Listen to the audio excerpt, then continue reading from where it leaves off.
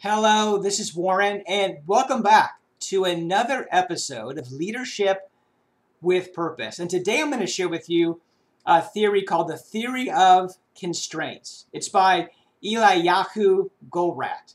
And the theory says that when you have a goal, there's something that stands between you and that goal that slows you down. It's like a bottleneck or a constraint. Something can be stopping you to achieving your goal. And as the leader, it's our responsibility to figure out what that bottleneck is or that constraint.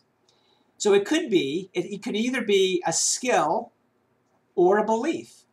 So a skill, it could have been as a leader, maybe that constraint is developing your communication skills so you can communicate more effectively with your team.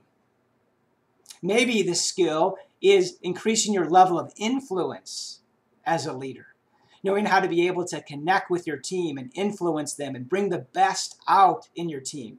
Maybe that's the skill. Or it could be it could be a belief. I know we've talked about mindset before on leadership with purpose, but mindset is so important. Maybe you have a limiting belief about something, about achieving your goal or maybe your next career move that's holding you back. So here's the question I want you to ask yourself What's holding you back?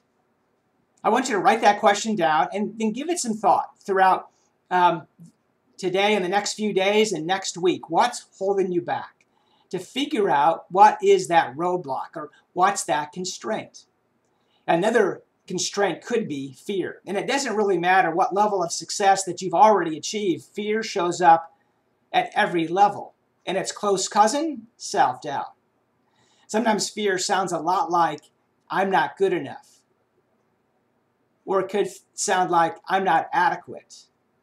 You might be afraid or fear of failure or fear of success, fear of rejection. So be aware of fear. That could be your constraint. So I really encourage you to help you achieve your next career goal or your next leadership position or help develop your team to be resilient. I encourage you to figure out what that constraint is to move quicker and faster towards your goal. Until next time, this is Warren saying, be resilient